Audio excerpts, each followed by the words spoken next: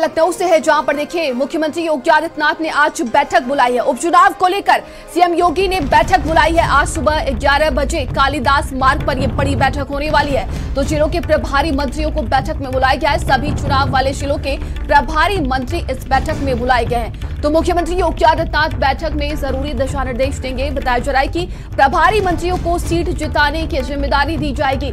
तो देखिए, उपचुनाव को लेकर बड़ी बैठक बुलाई गई है। मुख्यमंत्री आवास पर कहा जा रहा है कि सभी चुनाव वाले जिलों के प्रभारी मंत्री इस बैठक में बुलाए गए हैं। तो सीएम योगी ने आज बड़ी बैठक बुलाई है।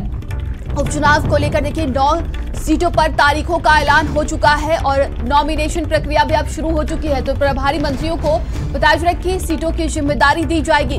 मुख्यमंत्री योगी आदित्यनाथ ने आज बड़ी बैठक बुलाई है उपचुनाव को लेकर। बताया जा रहा है कि ज़रूरी दिशा निर्देश देंगे। और सहयोगी संदीप हमारे साथ जुड़ गए हैं। संदीप, देखिए, कहा जा रहा है कि आज बड़ी बैठक बुलाए है, बुलाया गया है। मुख्यमंत्री योगी आदित्यनाथ के द्वारा क्या कुछ अपडेट निकलकर सामने आ रही है? देखिए, आज की बैठक के पीछे का जो एजेंडा है, वो ये है कि मुख्यमंत्री योगी आदित्यनाथ सभी प्रभारी मंत्रियों से देखिए, मुलाकात करेंगे। जो वहाँ पर जिनको प्रभार दिया गया था, वो चाहे कार्यकर्ता हो, वो चाहे पार्टी के पदाधिकारी हों। इसके पीछे का देखिए, मकसद ये है कि दिल्ली में जो है, वो प्रत्याशियों की लिस्ट तैयार रखी है। नामों की घोषणा बाकी है, क्योंकि सपा के प्रत्याशी भी उतर चुके हैं, कांग्रेस के भी दो उतर जाएँ तो मुझे लगता है भाजपा अपने प्रत्याशियों को उतार देगी। अब जो वहाँ के चाहे प्रभारी मंत्री हो, चाहे वहाँ के पदाधिकारी उनको ये बताना है कि प्रत्याशी कोई भी हो, लेकिन आप लोगों को जीतोड़, यानी साथ में लगकर उनको विजय हासिल करानी है। ऐसा ना हो प्रत्याशियों के नाम सुनने के बाद आपस में किसी तरीके का मतभेद हो, क्योंकि रणनीति जो है वो नौ की नौ सीटों पर चुनाव जीतने की है। और उसी के साथ साथ देखिए, प्रभारी मंत्रियों को ज़िम्मेदारी दी जानी है, क्योंकि ये देखा जा रहा है कि नौ सीटों पर मुख्यमंत्री योगी आदित्यनाथ के रोड शो होंगे। वहाँ पर डिप्टी सीएम हो, भाजपा प्रदेश अध्यक्ष भूपेन्द्र चौधरी हो, तमाम जो पदाधिकारी हों, उनको वहाँ पर रात्रि प्रवास की भी ज़िम्मेदारी दी जाएगी। हालाँकि इन नौ सीटों पर देखिए, मुख्यमंत्री योगी आदित्यनाथ अपनी ज़मीन तैयार कर चुके हैं। वहाँ तमाम सीटों पर, चाहे सीसामऊ की बात कर लीजिए, करहल की बात कर लीजिए, कुंदरकी की, कटहरी की, वहाँ पर करोड़ों रुपए की परियोजनाओं का ऐलान भी कर चुके हैं।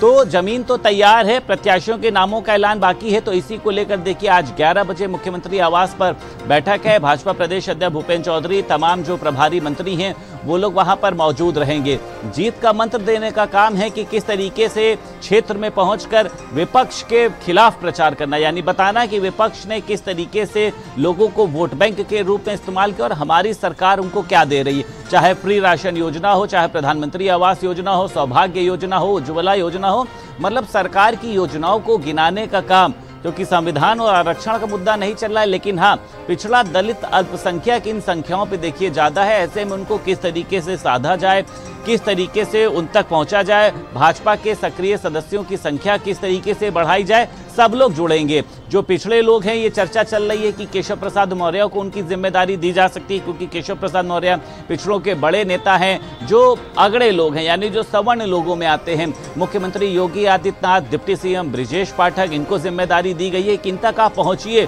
और जब मुख्यमंत्री योगी आदित्यनाथ का रोड शो होगा, देखिए, सभी को पता है, जम्मू कश्मीर में पहुँचे तो वहाँ पर लंबे समय बाद भाजपा को कई सीटों पर देखिए जगह मिली। हरियाणा में तो पूरा चुनाव ही देखिए पलट दिया। तो ये मुख्यमंत्री योगी आदित्यनाथ के रोड शो का भी देखिए परिणाम होता है।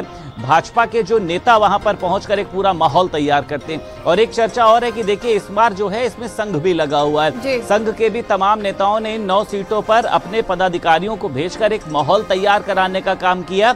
भाजपा के लिए कि भाजपा को आपको जिताना क्यों ज़रूरी है ये बताने का उन्होंने प्रयास किया। तो आज की बैठक में जो नौ सीटें हैं प्रत्याशियों के नामों के साथ साथ देखिए उनको बताना है कि ये प्रत्याशी कोई भी होगा आपको उनको जीत हासिल करानी किसी मतभेद में नहीं पड़ना है। और आपका जो लक्ष्य रहेगा वो यही रहेगा कि नौ सीटों पर कमल खिल सके। बिल्कुल आप बने रहिएगा हमारे साथ। चलिए आगे बढ़ते